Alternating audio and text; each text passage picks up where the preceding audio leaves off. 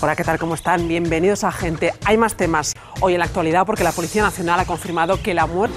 Ahora sí nos centramos en ese tiroteo en plena calle en Mérida, un hombre y una mujer. Ella, de 71 años, ha muerto víctimas de los disparos. Los agentes del Cuerpo Nacional de Policía han detenido ya a cinco personas por su presunta implicación en esta reyerta que ha tenido lugar al mediodía.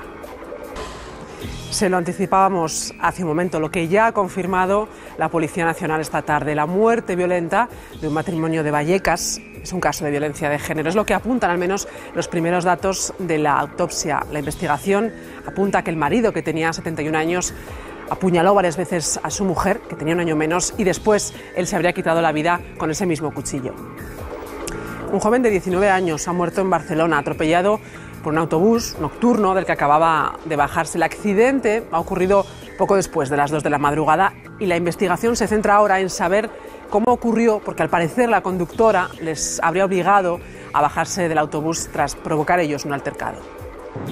Están viendo las últimas imágenes que acaban de llegar desde el centro de Madrid. Fuertes medidas de seguridad a esta hora, 8 y 5 minutos de la tarde, en la Puerta del Sol, en la Puerta del Sol, en la que es una segunda jornada de protestas consecutiva del movimiento 15M. De momento, lo están viendo, la plaza está abierta, aunque la policía controla los accesos pidiendo la documentación de forma aleatoria. En la plaza de Jacinto Benavente se celebra también hasta ahora una nueva asamblea, aunque la normalidad de momento es absoluta.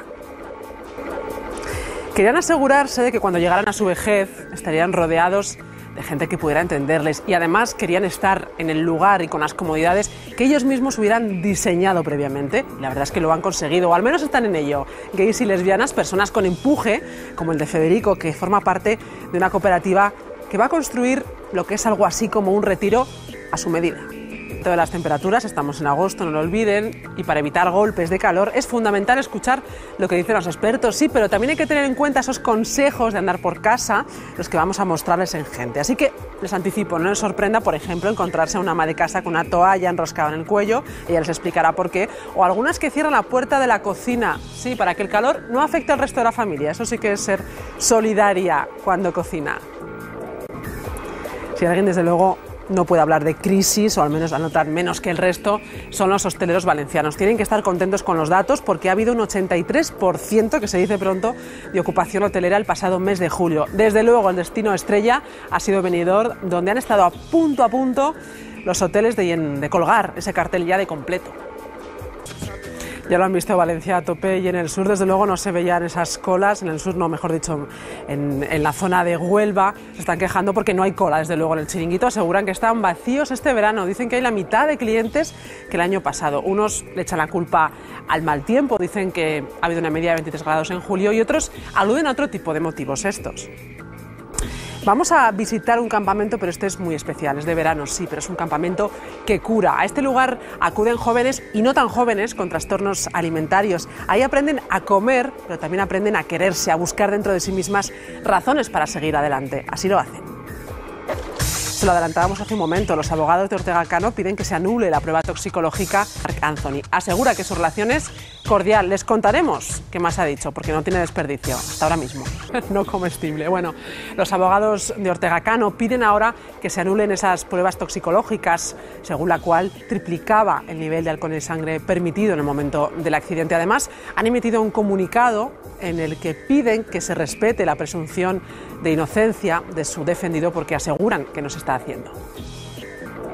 Carlota Casiraghi cumplió hoy 25 años, la hija de Carolina y la nieta de la famosísima actriz Grace Kelly, Bella, donde la Saya llega al cuarto del siglo, siendo desde luego considerada como una de las princesas no solamente más guapas, sino también más elegante de la realeza europea.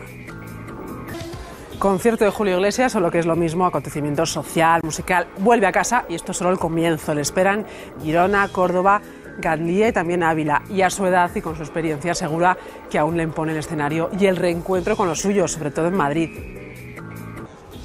Jennifer López ha hablado por primera vez, ha concedido una entrevista después de su ruptura con el cantante Mark Anthony. Una entrevista con posado, además, fotografiada por uno de los grandes, Mario Testino desde luego ya ha tenido una carrera intachable, Oprah. No pueden decir lo mismo otros artistas cuyos desencuentros, dejémoslo, dejémoslo en esa, con la justicia por fraude, robos o altercados, les han sentado en el banquillo.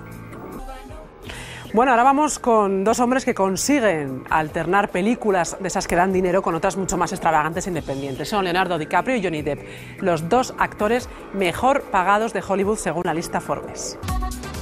Ellas también juegan, sí, las chicas de la selección española sub-17 y hoy alzan la voz y hacen gala de su camiseta porque dicen que no se les hace el mismo caso que a los hombres.